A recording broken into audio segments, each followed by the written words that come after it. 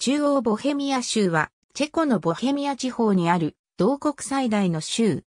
州のほぼ中心に、プラハが位置し、行政府も同市内に置かれているが、プラハは、首都として独立した行政区分となっているため、中央ボヘミア州には含まれない。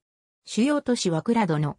紀元前2世紀から1世紀にかけて、ケルト系のボイ族がこの地で生活した痕跡がある。中央ボヘミア州は、ボヘミア公、バーツラフの治めた領土と、ほぼ一致している。クトナーホラでは、中央ヨーロッパの国際通貨として、プラハクロ州が鋳造されていた。1757年には、コリーン近郊が7年戦争の戦場となった。中央ボヘミア州の北東部はエルベ川沿いに低地が続き、主に農地として利用されている。落葉樹林や松の林もある。対して南西部は山がちで頭皮などの森林によって覆われている。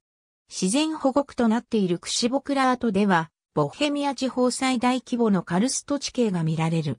山荘からなるチェコ最大のコニエプルシー洞窟があるのも、この地域である。ブラニーク丘陵には、王国が危機に瀕した時に目覚めると伝えられるブラニークの騎士たちの伝説がある。中央ボヘミア州中央ボヘミア州には12の郡があり、1146の市町村がある。聖バルボラ教会クトナーホラの聖バルボラ教会のある歴史地区とセドレツの聖母マリア大聖堂がユネスコの世界遺産に登録されている。